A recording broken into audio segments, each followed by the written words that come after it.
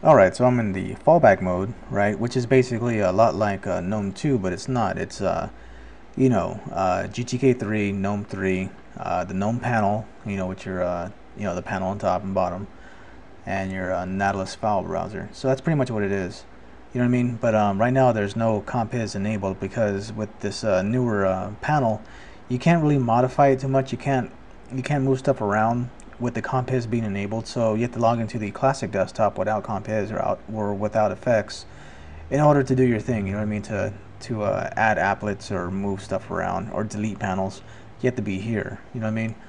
So, anyways, um, just to have a little quick look around. If you're familiar with GNOME 2, then this is pretty much you know you feel right at home. Uh, the only gripe I kind of have with it is is because it's you know GNOME 3 or GTK 3 or whatever, it's using Nautilus 3. You know what I mean? So I never really liked now. I don't. I don't have anything against Nautilus three.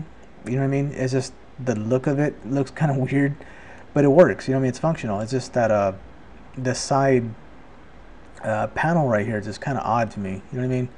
It just kind of sticks out like a sore thumb. But other than that, you know, Nautilus three is fine. It works. But anyways, um, let me see. What can I show you? Same thing as before. You know, what I mean, there's no system menu right here. It's basically down here system tools, administration, then your preferences is right here. Um, that's usually up here, you know what I mean? Your places, uh, your recent documents is here. You can just go ahead and delete that if you want to. Clear all your recent stuff. Um, you know, applications, games, just like before. It's it looks like it's broken up too into subcategories as well. So that's cool. You know what I mean? Um, okay, so anyways, like what GNOME 2 is pretty much famous for is like the whole Compiz Cube and the customization, the applets, just the whole, um, how can I say, the, the modifications, right? You can basically build your desktop to the way you like it, you know what I mean? To, whatever it's wild or, or basically just real simple or just with a dock, make it like a Mac wannabe or whatever, or uh, you know whatever is to liking. That's that's what was really cool about GNOME 2. It's just like whatever you want it to be. And now with this fallback mode, you can actually kind of achieve that, what you used to have. It's not 100% there. I'll get into that a little bit later. But, you know, I mean, to, to actually move stuff around, it's pretty simple. Just go up to the top and hold Alt, press right click, and now you can move. You can move this around, see? Like so. Or Alt and remove, like that. All right, so if I want to add something that, back to it, again, you have to right click, I'm sorry, Alt and right click, add to a panel, and just look for menu. Like so. I'm going to use the, the standard one the smaller menu bar. Which is this right here. Oops I got something right here. Let me get rid of that. There we go. Alright so now I got the smaller menu bar. Now it's all broken up down here. Let's put that busy real quick. Anyways um, another thing that also added was the uh, indicator applets uh, indicator applet app menu. So that's basically your global menu. So if you want to do if you want to add a global menu you can um, just look for in your uh, synaptic package manager or the uh, software center. Drag it in there. So now you have a, a global menu if you want it. And there you go. Now my menus that were here are now up here.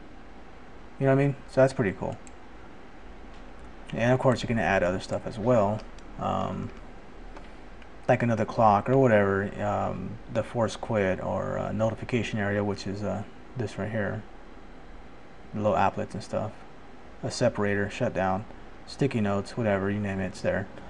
Um, so anyways, I'm gonna go ahead and and, uh, and log out of this fallback mode without the without the effects and log into the uh, compiz session of it so I can show you some stuff that you can that you can actually do that you used to do before and stuff that are still kind of buggy you know what I mean? Anyways back in a couple seconds.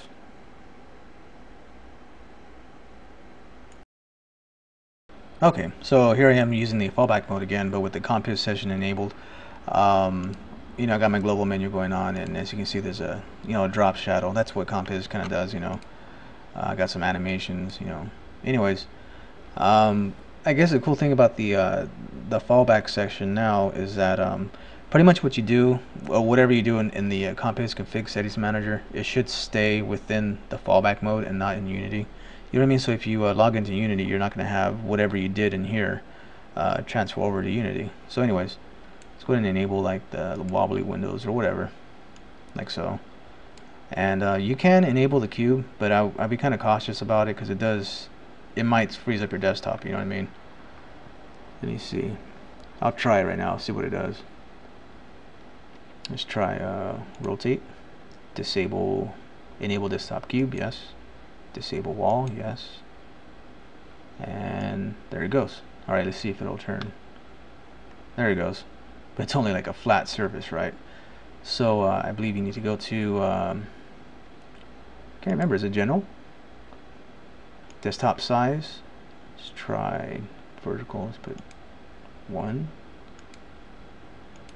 two, three, four. There we go. Oh, there we go, four. So there you go. Now you have the cube going on. And of course, you can install some extra Compiz plugins if you want, you know, for like 3D windows or extra animations. Um, one thing I did notice is that uh, sometimes, not all the time, um, when you minimize something, let's try uh, minimize. There we go. Let me raise the uh, delay, the uh, delay time like this, and we'll switch that to like something else. We'll go random.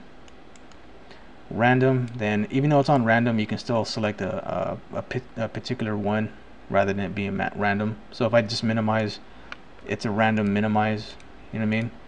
But if I don't want it to be random anymore I just pick one like magic lamp right here. Now it's just it'll always be magic lamp I guess but anyways I don't know if you've seen that or not let me lower down some more there's a little bit of a bug it's like a transparency bug or something There it goes. See how when it minimizes it goes transparent? Like so. It's really hard to see.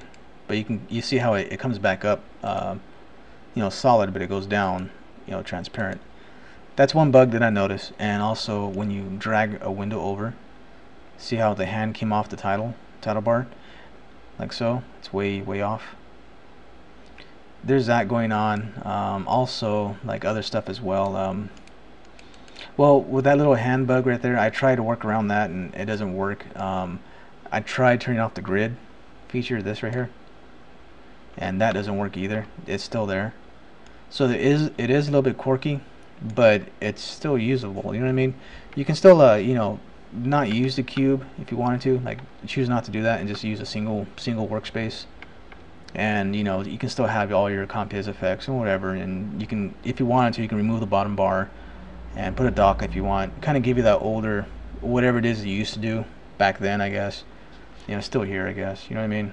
But like I said, there's still some quirks, little little weird stuff going on.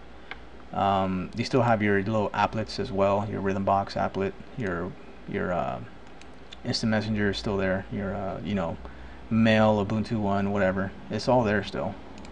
So that's pretty cool. It's an option. You know, it's it's um, you know if you don't want to if you don't want to use Unity and if you don't want to use Shell you can still have something similar to your old uh, GNOME 2 still you know what I mean so anyways that's all I can really say about it if you're familiar with GNOME 2 it's pretty much the same thing to a degree um, just some minor little quirks here and there but anyways it's good to see it back you know what I'm saying so anyways I'll see you guys later